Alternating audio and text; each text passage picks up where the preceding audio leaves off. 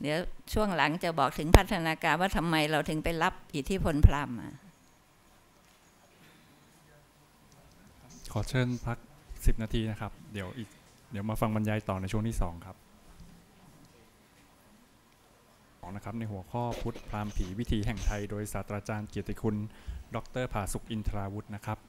แต่ก่อนอื่นผมขออนุญาตประชาสัมพันธ์เรื่องการบรรยายที่ต่อเนื่องจากการบรรยายในครั้งนี้นะครับ จะมีขึ้นในวันพุธที่ 7 พฤษภาคมนะครับ เวลาช่วงบ่ายนะครับ คือการบรรยายในในหัวข้อวิสาขาบูชา ศิลปกรรม เกี่ยวกับการเกี่ยวกับการประสูติตรัสรู้และปริปารินิพานนะครับ โดยวิทยากรจากภาควิชาประวัติศาสตร์ศิลปะ คณะโบราณคดีมหาวิทยามหาวิทยาลัยศิลปากรนะครับนำโดยศาสตราจารย์ ดรศักชัยสายสิงห์ผู้ช่วยศาสตราจารย์ ดร เชษฐ์ติงสัญชลี ผู้ช่วยศาสตราจารย์ ดร รุ่งโรธธรรมรุ่งเรือง อาจารย์ ดร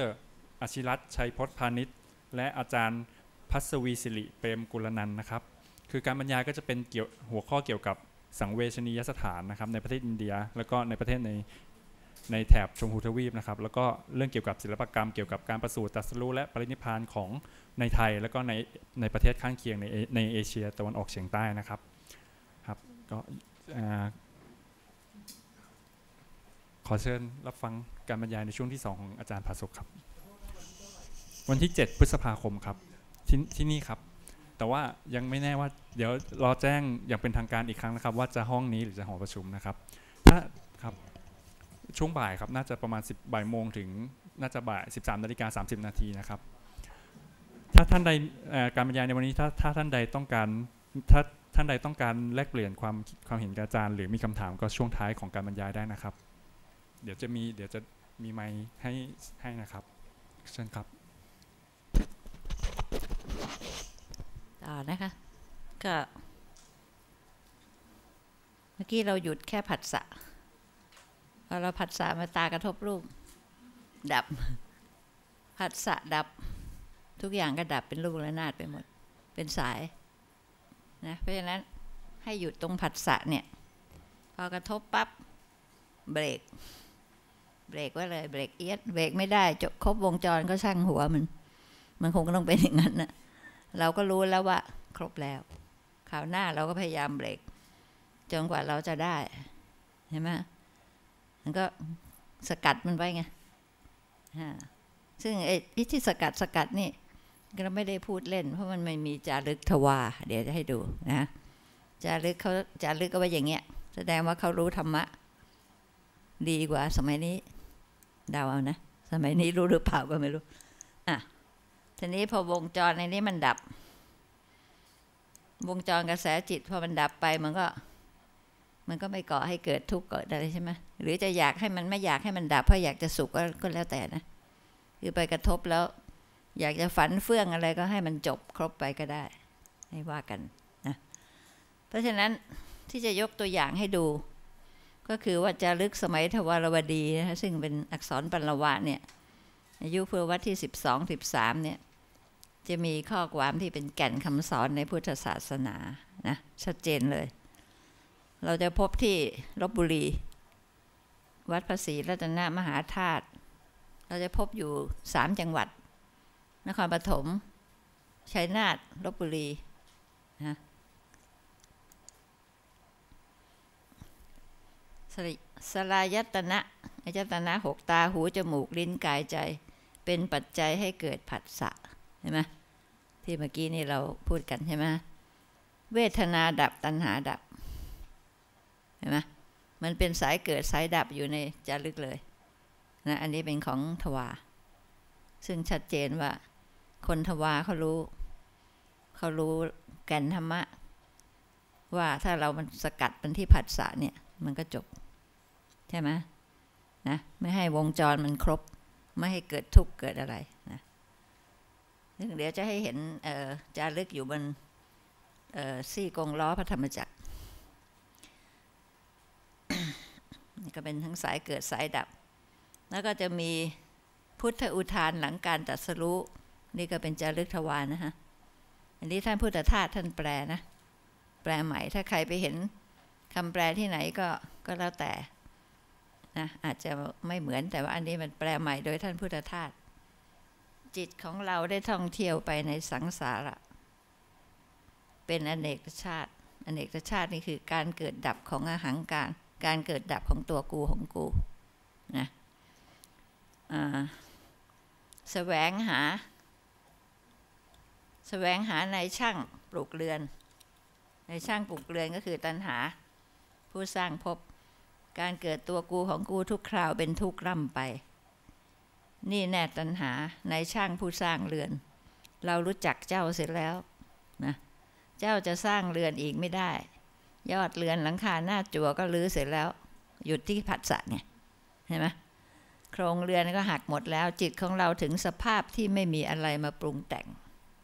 นะจิตถึงสภาพที่ไม่มีการปรุงแต่ง เพราะจิตของเราสิ้นกิเลสตัณหาแล้ว อันนี้เป็นพุทธอุทานของพุทธเจ้า ซึ่งก็ปรากฏในจารึกถวายกันะ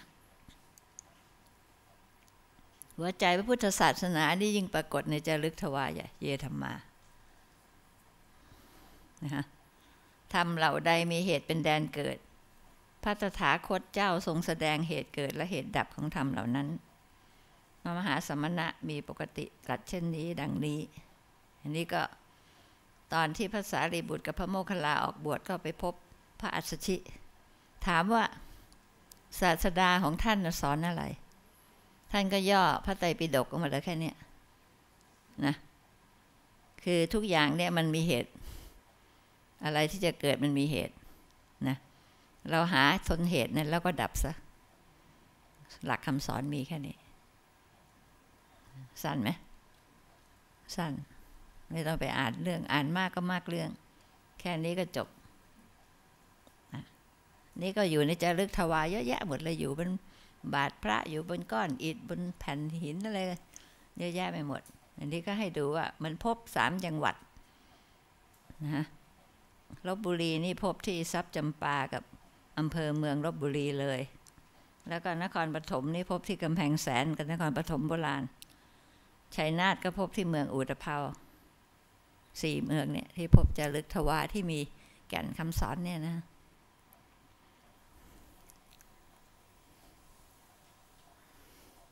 อันนี้มันก็จะอยู่ในหนังสือเมื่อกี้มีท่านหนึ่งสนใจ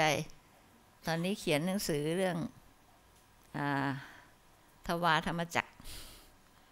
เล่มเล็ก ๆ ก็จะมีจารึกพวกนี้อยู่ครบหมด ถ้าใครสนใจก็ต้องไปติดต่อที่คณะโบราณคดีนะยังมีขายอยู่ แต่เล่มอื่นหมดแล้วนะฮะอะอันนี้ก็ให้ดูว่าคาถาจารึกเยธรรมาเนี่ย อยู่ตรงคอเนี่ยนะฮะครบรอบเลย อันนี้อยู่ในพิพิธภัณฑ์ถ้าใครเข้าไปดูพิพิธภัณฑ์ทสถานแห่งชาติเนี่ยอยู่ตรงสนามเขาเอามาจากนครปฐมนะเป็นหิน ที่เมืองทวารททุกเมืองอะถ้าดูไปจริง ๆ แล้วจะพบจะลึกเยธรรมาบนสถูปจำลองดินเผา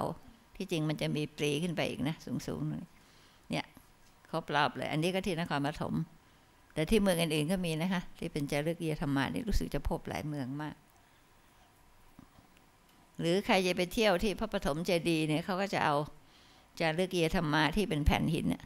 แตะอยู่ไว้ตามกำแพงไปเดินอ่านดูเขายังเก็บไว้เพราะว่าพระปฐมเจดีย์เนี่ยที่ลากเดิมมันเป็นเจดีย์ทวาก่อนที่จะมีปฐมเจดีย์เนี่ยมาสร้างครอบนะ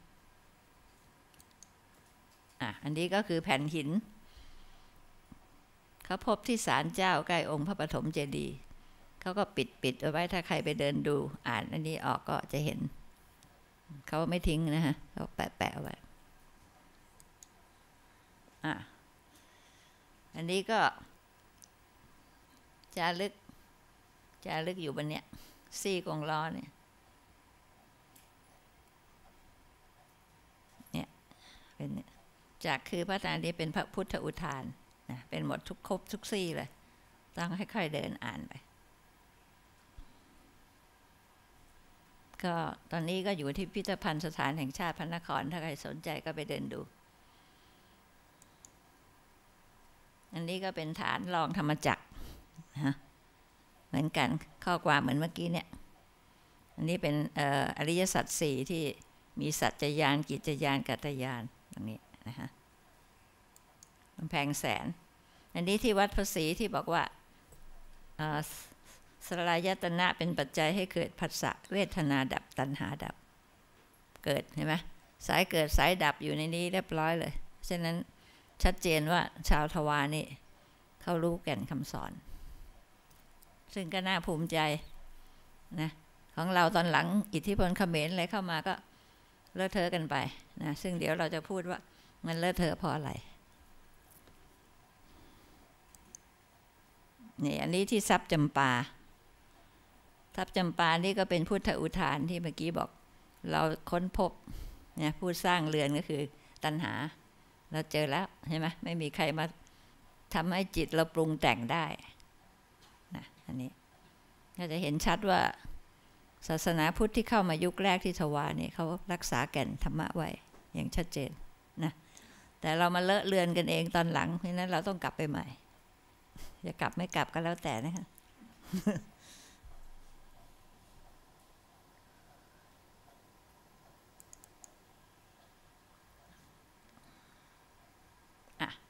ทีนี้เรามาดูว่า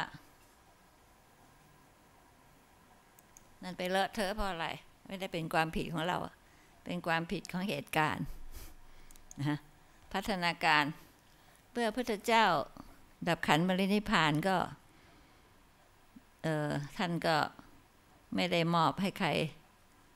สืบต่อนะฮะนี่ก็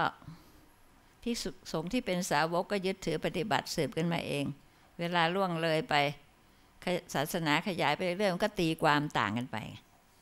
คนนี้ก็เถียงว่าอย่างนี้ คนนั้นก็เถียงว่าอย่างนี้ใช่ไหมไม่มีใครเป็นประธานนี่ท่านไม่ได้มอบให้ใคร ท่านบอกว่าธรรมะคำสอนของท่านจะอยู่ ก็อธิบายกันไปเรื่อย เปื่อยก็เลยแตกแยก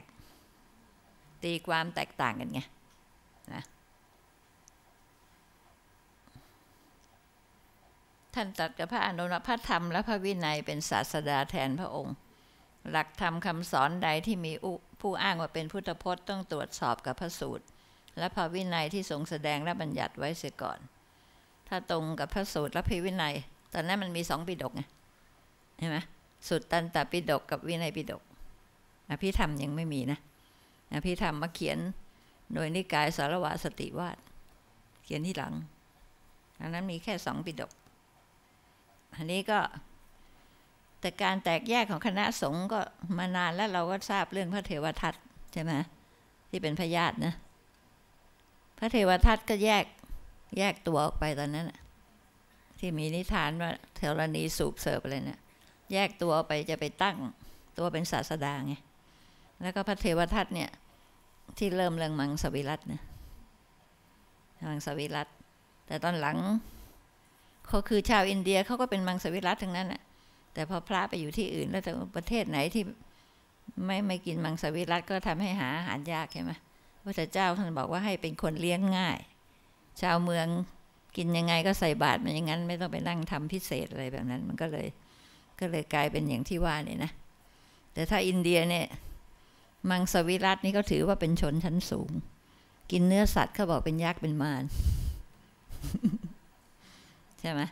เพราะฉะนั้นผู้ดีเขาจะไม่กินเนื้อสัตว์ ตรงนี้แหละทีนี้มันก็เริ่มแตกกันมาตั้งแต่สมัยนั้นแหละใช่ไหมพอสังคยนาครั้งที่หนึ่ง หลังพุทธปรินิพานสามเดือน ก็เริ่มเถียงกันมาแล้วว่าไม่ตรงกันอะใช่ไหมอธิบายไม่ตรงกัน เริ่มนิดหน่อยแต่ยังไม่แตกนะ จะมาแตกกันในการสังคยนาครั้งที่สอง ครั้งแรกที่กรุงราชคฤห์สามเดือน มีพระธรรมมีสุตตันตะกับวินัยปิฎกครั้งที่สองที่กรุงเวสลี ตอนนี้เริ่มแตกแล้ว มีปัญหาวินัยสิบข้อ ก็คือว่า คนที่เป็นเถรวาทเขาก็ทำไมยึดอย่างเดิมหมดเลยสองยิบเจ็ดข้อไม่เถียง แต่อีกกลุ่มหนึ่งบอกว่าอีกสิบข้อเนี่ยขอเถอะย่อนหน่อยนะเพราะว่าบ้านเมืองมันเปลี่ยนไปแล้ว ก็เลยต้องแยกกลุ่มพอครั้งที่สามพระเจ้าโศก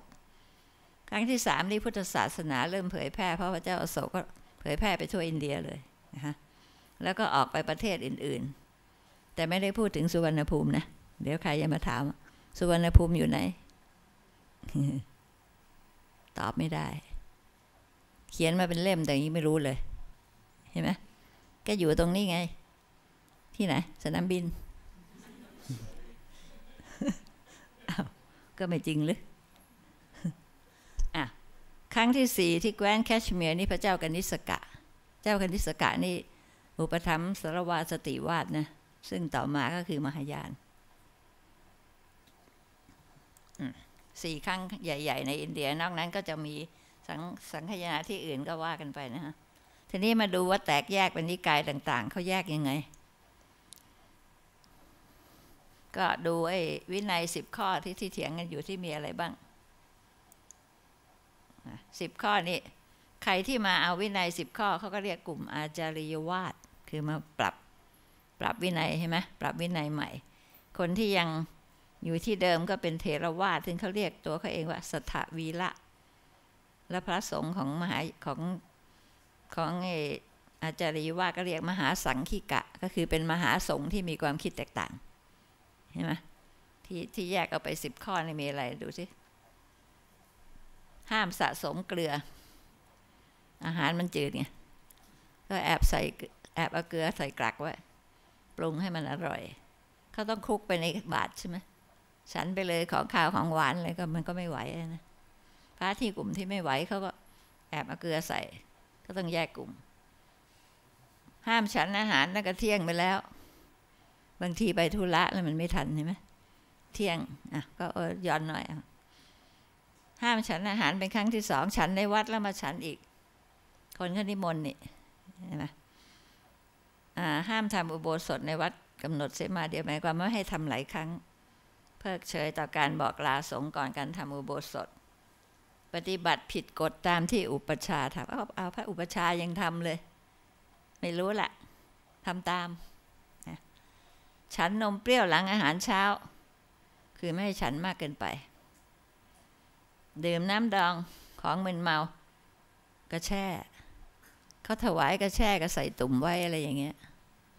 มันจะเป็นเหล้าใช่ไหมอันนี้ก็เขาคือกลุ่มที่เขา ขอหย่อนก็เป็นอย่างนี้นะ ใช้ผ้าปูนั่งที่ยังเย็บตะเข็บไม่เรียบร้อย ก็คือลุงลังเดี๋ยวก็สรุปเอาเองอะใช่ไหมห้ามรับสตางค์อันนี้เรื่องใหญ่ ตอนนี้ก็เราหย่อนมากใช่ไหมแต่ยังมีภิกษุมอนที่วัดตรงปากเกร็ดเนี่ย วัดวรไมเคยไปไหมท่านไม่รับธนบัตรเลยนะ ไม่เลย อันนี้จริง ๆ คือไม่หย่อนอันนี้นะในนี้พวกที่หย่อนเขาก็แยกออกเป็นเป็นมหาสังคิกะ ซึ่งต่อมาคือมหายานนะจากนั้นก็มีแยกนิกายอีกมากมาย 18ถึง20 นิกาย แต่ไม่ได้เกี่ยวกับหลักคำสอนนะหลักคำสอนเหมือนเดิมเพียงแต่แตกต่างกันเรื่องฐานะ พระพุทธเจ้าทำบุญกับพระพุทธเจ้าได้บุญมากกว่าทำกับพระสงฆ์ทำพระสงฆ์ได้บุญมาแล้วแต่ก็ว่ากันไปนะเป็นเล็กๆน้อยๆเกี่ยวกับอย่างเงี้ย มันไม่ได้เกี่ยวกับหลักธรรมอริยสัจอะไรนะเพิ่งจะมาชัดเจนตอนที่เป็นมหาสังคิกะก็คือ พระพุทธเจ้าไม่ใช่มนุษย์ธรรมดาละแต่เทียบเท่าเทพเจ้า แล้วก็ไม่ไม่มีการบริณิพานอยู่เนี่ยใช่ไหมคือเข้าฌานอยู่ตลอด อยากจะพบเมื่อไหร่ก็ ถือว่ามีชีวิตอยู่คือไม่อยากให้ ไม่อยากให้หายไปไงพอหายไปแล้วมันว้าเหวว่าไหม ก็เดี๋ยวนี้เรามีพระปรางสายญาติ อินเดียก็ไม่มีนะ ถ้าปรินิพานก็คือไปเลยของเรานี่ไม่ได้ ต้องให้ลุกขึ้นมาคุยกัน คือสายญาติเดี๋ยวก็ตื่นถูกไหมถ้าปรินิพานไม่ตื่นนี่ทีนี้ก็จะทำพระบาทให้เกยกันนิดหนึ่งว่าปรินิพาน หรือสายญาติสายญาติก็เกยกันนิดปรินิพานก็เสมอเสมอไม่อยากให้ตายอะมหาสังคิกะนี่ แต่งเติมเสริมต่อพระสูตรคือเองเลย เขียนใหม่ว่างั้นเถอะ อยากเขียนอะไรก็เขียนนะเพราะฉะนั้นต่อมาเขาก็จะมีพระโพธิสัตว์มีอะไรต่ออะไรของเขามากมายก็แตกกันไปเยอะแยะที่เรารู้จักกันนะซึ่งเดี๋ยวจะยกตัวอย่างนิดหน่อยอ่าดูนิกายสำคัญนิดหนึ่งเทรวาสก็แยกเป็นสารวาสติวาสสาวตรานติกะ อย่างนี้เราก็คุยกันไปแล้วเรื่องอริยสัจสี่ใช่ไหมปฏิจจสมุปบาทขติความเชื่อเถรวาทก็คือพระพุทธเจ้าเป็นมนุษย์ธรรมดาตรัสรู้ในลักษณะที่เป็นมนุษย์นะ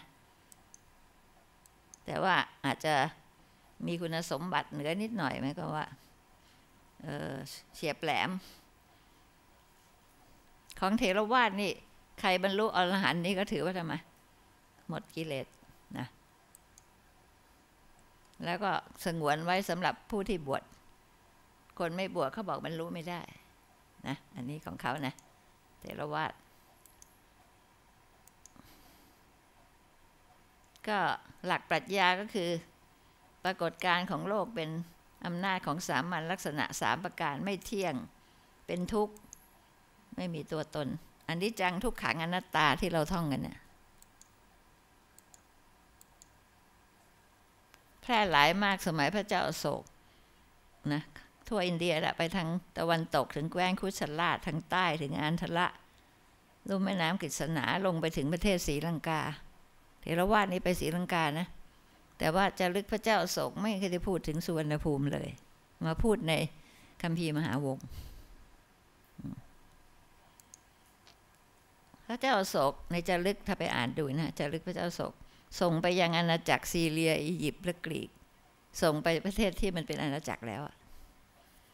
ตอนนั้นถ้าช่วงผู้วัดที่สามเราก็คงยังเป็นก่อนประวัติศาสตร์ตอนปลายไทยแล้วนะทีนี้ต่อมาเทรวาสถูกเรียกถูกเรียกนะ เราอย่าไปเรียกตัวเราเองเขาเรียกเรา ว่าหินยานแปลว่ายานคับแคบบรรลุไปคนเดียว ไม่พาคนอื่นไป มหายานนี่ ขนสัตว์โลกไปได้หมด ทุกคนสารวานี่สารวานี่เริ่มเขียนอภิธรรมนะ อภิธรรมปิดก ตอนนี้ก็จะมีไตรปิดกละ ซึ่งจะไปรุ่งเรืองอยู่ในลังกา นะคะ แต่ว่ายังคงเป็นเถรวาทยังไม่มีปาฏิหาริย์ของพุทธเจ้านะยังไม่เน้นพระ โพธิสัตว์เขายังเป็นเถรวาทอยู่นิดหน่อย แต่ว่าเขาก็ไม่เชื่อตามเถรวาทของเรานี่พ่ออรหันต์ก็คือบรรลุไปเลย แต่ของสรวานี่เขาบอกพ่ออรหันต์ก็ยังเสื่อมได้ ตามผลกรรม เพราะเขาเชื่อเขาเริ่มเชื่อไปทางพราหมณ์แล้วนะ หลักปรัชญาก็คือ มีอดีตมีอนาคต ก็หมายความมีชาติแล้วมีชาติที่แล้วมีชาตินี้ชาติหน้าอะไรอย่างเงี้ยนะ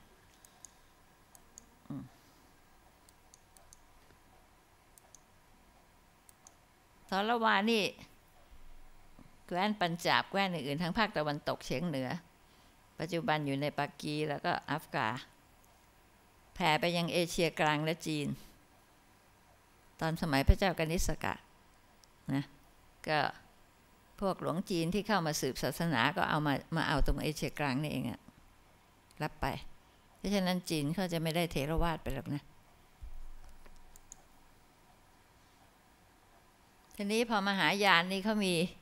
คติโพธิสัตว์ใช่ไหมถูกไหมเขาก็ชนะสารวานี่ก็เลยต้องหนีไปอยู่ลังกา แล้วเดี๋ยวไปดูซิว่าไปทำอะไรมั่งแล้วกลับมาที่เรานะ สาวตรานติกะนี่เต็มตัวเลย ถึงแม้จะหลักคำสอนเหมือนเทรวาสแต่หลักปรัชญาเชื่อว่าวิญญาณขันไปเกิดใหม่ได้ ก็มันเป็นโซไงใช่ไหมเวียนว่ายแต่เกิด ก็เชื่อว่าทุกคนมีธาตุพุทธะอยู่ในตัว คือทุกคนเป็นพระพุทธเจ้าได้หมดของมายานะ มีธาตุพุทธะ แล้วเราจะดึง เราจะลื้อขึ้นมาไหม มีทุกคน ไม่ใช่ว่า จำเพาะว่าคนนั้นคนนี้ถึงจะเป็นพระพุทธเจ้าเป็นได้หมด สุดท้ายก็ไปรวมกับมหายานนิกายอื่น ๆ มหาสังคิกะนี่ก็แยกเป็นหลายนิกาย แต่ที่จะพูดถึงก็มีสองนิกายพระหูสรุติยะอาจจะไม่เกี่ยวกับเราแต่ใจใจยกะนี่ชัดเจนนะคะ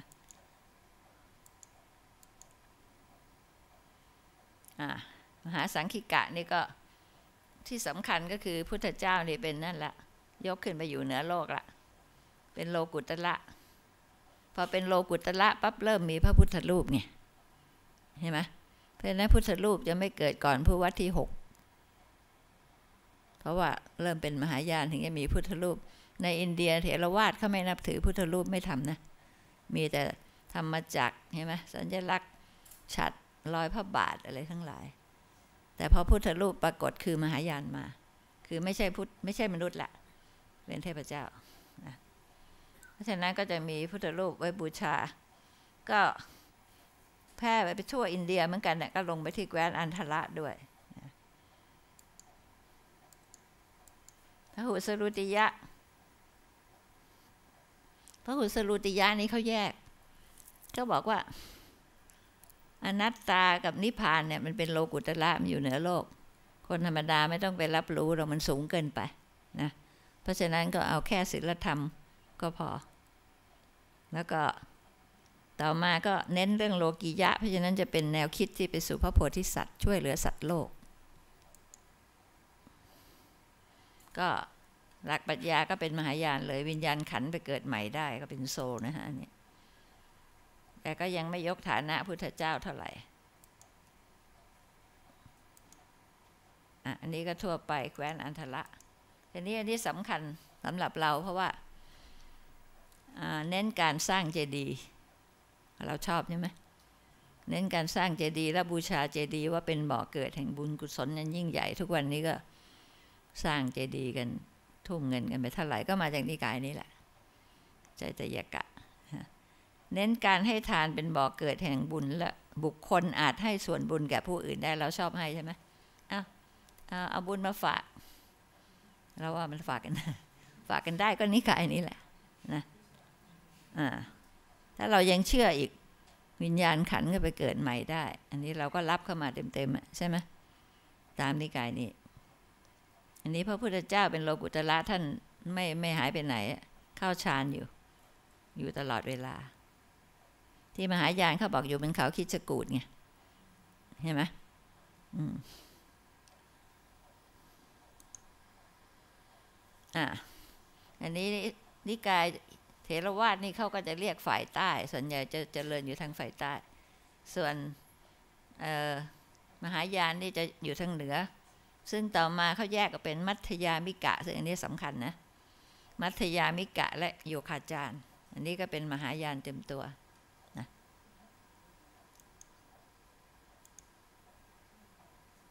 ทีนี้มาดูว่า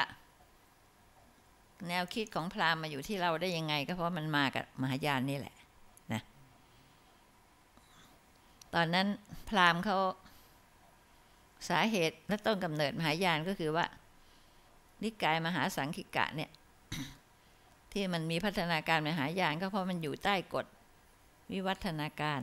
ทุกอย่างมันต้องมีวิวัฒนาการใช่ไหมมันไม่อยู่นิ่งกับที่นะแล้วเปลี่ยน เปลี่ยนแปลงไปเพราะว่าศาสนาพราหมณ์มันจเจริญขึ้นมามากคนก็เขาเรียกว่าเรียกลูกค้า ของเราไม่มีคนมาใช่ไหมอะเราก็เรียกลูกค้า อย่างทุกวันเนี้ยบางวัดก็เรียกลูกค้า ด้วยวิธีต่างๆ เราก็ไม่ลองไปพูดว่าอะไรนะอันนี้ก็ แล้วก็มหายานเขาก็รู้สึกว่า เดี๋ยวก็มีข้อขัดแย้งเขามีข้อขัดแย้งกันเองภายในหมู่สงฆ์ข้อหนึ่งนะ ถึงสงเถียงกันเองอะ่ะแล้วก็มีรับอิทธิพลภายนอก อันนี้สำคัญ ขัดแย้งกันในหมู่สงฆ์ก็เพราะ เข้มงวดทางวินัยสองร้อยยิบเจ็ดข้อนี่คิดดูซิว่า จะปฏิบัติได้ไหมยากไหมยาก พระบางรูปก็รู้สึกว่ามันเข้มงวดเกินไป แล้วเก็บเนื้อเก็บตัวเกินไปทำไม่ได้ทุกข้อ ที่เมื่อกี้ลดหย่อนไปสิบข้อแล้วนะ เชื่อในเรื่องอภิปรัชญาพิธีกรรมความศักดิ์สิทธิ์ เครื่องรางของขลังนะยิ่งเคยไปบวชเคยเป็นอยู่ในศาสนาพราหมณ์มาก่อน ก็ยิ่งมีเยอะเลย พอเข้ามาดูสัจธรรมพุทธแล้วทำไมอึดอัด อยากจะเอานี้เข้ามาปนแล้วกัน ถูกไหมเพราะมันความเชื่อเดิม ความเป็นนามธรรมของนิพพาน ไม่เข้าใจนิพพานบางคนบอกจะต้องอุ้ย ชาตินี้ขอนิพพานมันอยู่ไกลรีบอยู่ไหนก็ไม่รู้ไปกันใหญ่ มันก็เลยโอ้โหมันยุ่งยากมาก ไม่รู้จะอธิบายว่าไงก็เลย ถ้าจะไม่ถึงนิพพาน ใช่ไหมอะการมีอุดมการที่แปลกใหม่ ก็รู้สึกว่า เอ๊ะการเป็นพระสงฆ์ในเทรวาสนี่มัน อยู่ในศีลสมาธิปัญญามากเกินไป เก็บเนื้อเก็บตัว รู้สึกว่ามันอะไร มันไม่ค่อยไปยุ่งกับคนอะปลีกวิเวก เกินไปใช่ไหมไปเฉพาะตัว เพราะฉะนั้นก็จะสู้อะไรสู้มหายานไม่ได้ เขามีคติโพธิสัตว์เขาจะต้องไปใช่ไหมมีความการุณาต่อสัตว์โลก ช่วยสัตว์โลกนะเพราะฉะนั้นจะเข้าถึงมวลชนมากกว่า อิทธิพลภายนอกที่สำคัญที่สุดคือ ศาสนาพราหมณ์ แล้วก็อิทธิพลกรีกโรมันที่เขามีพระเจ้าอะไรเนี่ยเอามาหมดอะเอาของเขามามีพระโพธิสัตว์อวโรถ้าใครไปอ่าน รายละเอียดมันจะเยอะ คือเป็นคติของเข้ามาทั้งนั้นนะเป็นพระพระโพธิสัตว์ทยานิโพธิสัตว์ทยานิพุทธก็มาเข้ามาเยอะแยะ นี้พอ หลังพระเจ้าอโศก หลังพระเจ้าอโศกสิ้นไปก็ ราชวงศ์สุงขะนี่เป็นพราหมณ์ขึ้นมา พราหมณ์ก็ฟื้นฟู ฟื้นฟูขนบธรรมเนียมพราหมณ์ขึ้นมาไงแล้วก็พุทธก็เลยทำไมพุทธที่เป็นเถรวาทไม่ไม่เนี่ยฟุบเลย ไม่มีใครศรัทธาใช่ไหมทีนี้พระที่อยู่ทำไงก็ต้องให้อยู่รอดให้ได้พอราชวงศ์มารยะสิ้นสุดลงไปเนี่ยนายพลปุษยมิตรผสมกษัตริย์ราชวงศ์สุงขะฟื้นฟูแต่เขาบอกว่า อันนี้เป็นการเล่านะจริงหรือเปล่าไม่รู้ พยายามทำลายศาสนาพุทธโดยจับภิกษุฆ่านี่ไม่แน่ใจนะเพราะว่าหลักฐานโบราณคดีมันไม่ใช่อย่างนั้นนะเพราะว่าราชวงศ์สุงขะก็ไปอุปถัมภ์พวกเจดีย์ต่างๆ ที่สร้างไว้ในก่อนนะเพราะศาสนาพุทธกับพราหมณ์เขาไม่ค่อยทะเลาะกันหรอกเขาจะเอื้อกันนะ อันนี้ก็ไม่แน่ใจเป็นนิทานหรือเปล่าไม่รู้ แต่ว่าคนไม่ศรัทธาพุทธเขาก็ปรับตัว ก็ พระพราหมณ์ต่างๆก็เข้ามาบวช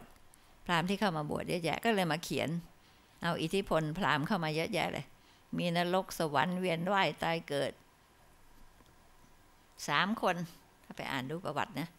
อัศวโคตนาคารชุนและอสังขะคนนี้แหละสามท่านเนี่ยเป็นผู้ปรับศาสนาให้เป็นมหายาน แล้วก็เอาอิทธิพลพราหมณ์เข้ามาใส่นะอัศวโคตก็เป็นกวีเอก เขาก็เป็นพราหมณ์มาก่อนนี่แหละ ช่วงพระวัตที่หกเรื่องเป็นกำเนิดมหายานพอดีนะก็เข้ามา ก็นำเอาเขียนพุทธประวัติใหม่ เคยอ่านไหมพุทธจริต เคยไหมไม่เคยลองอ่านคนหลายท่านคงอ่านแล้ว พุทธจริตนี่ก็คือเอาอีกเรื่องของพราหมณ์ใส่เข้ามาเป็นเรื่องเป็นราวเลยนะแต่งเป็นนิทาน ก็เอาไอ้วิญญาณโซเนี่ยเข้ามาใส่เลย เวียนว่ายตายเกิด อ่าเดี๋ยวดู พุทธจริตนี่เป็นสันสกฤต ก็เล่าเหตุการณ์เป็นประวัติศาสตร์ด้วยนะสมัยพุทธเจ้ามีพระชนชีพประกาศถึงสังขยาครั้งที่หนึ่งทีนี้ในพุทธประวัติเดี๋ยวท่านก็ไปอ่านดูกันแล้วกันว่ามาเกี่ยวข้องกับเทพเจ้าศาสนาพราหมณ์มาเกี่ยวเยอะแยะเลยนะเอาใจพราหมณ์เจ้าชายศรีสัทธาเนี่ยเดิมอยู่บนสวรรค์ชั้นดุสิตถ้าใครไปอ่านดูใช่ไหม เสร็จแล้วใครไปเชิญพระพรหมไปเชิญ ให้ลงมาตัดสรุก็ลงมาตัดสรุแล้วก็ ท่านก็รู้สึกว่าเรื่องที่ตัดสรุมันยาก ไม่อยากจะสอน ไปนิพพานดีกว่าทำไม ร้อนถึงพระพรหมเห็นไหมพระพรหมก็ต้องมาทูลเชิญลองไปอ่านดูนะ จะเป็นอย่างนั้นให้มาสอนซะก่อน ก็เลยรับคำแล้วก็อยู่สอน 45พรรษา เพราะฉะนั้นใครที่บวชเป็นพระ บอกว่าก่อนเทศเนี่ยเขาจะต้องมีการสรรเสริญคุณของพระพรหมก่อน ไม่ทราบจริงไหมฮะท่าน ท่านพระคุณเจ้า มีไหมฮะสรรเสริญพระพรหมก่อนเทศไหมเขาว่าอย่างนั้นนะอะฮะอะคะ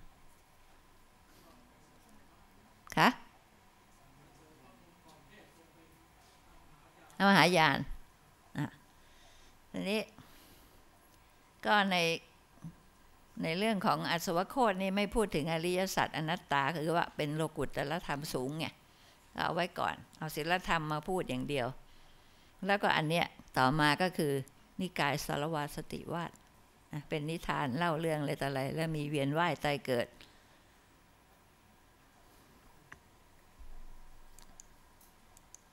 อะ ยุคนี้ก็มีพุทธประวัติอีกอันหนึ่งอาจจะเคยอ่านกันลลิตะวิสตละเคยไหมลลิตพิสดารอะ อันนี้ก็โหนะไม่รู้จักก็ลองไปอ่านดูนะก็หมายถึงว่ามันเป็นปาฏิหาริย์เวลาพุทธเจ้าชายศรีสถามาเกิด ก็จะต้องมีบริวารมาเกิดอะไรมากมายไก่กองไงใช่ไหมที่แทนที่จะว่ามีสาวกสี่ห้าคนก็ว่ามีสัก ห้าหมื่นเขาเรียกว่าเขียนแบบพิสดารมากไงเป็นปฏิหารเยอะแยะเหมือนอันนี้ในช่วงเนี้ยเรื่องนรกเรื่องสวรรค์เนี่ยมาหมด เวียนว่ายตายเกิดเข้ามาในนี้หมดเลย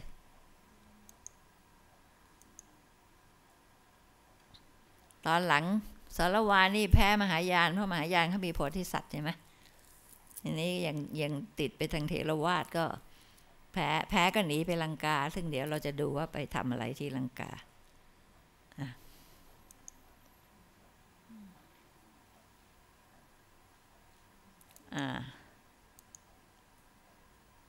พิสุกลังกาพวกนี้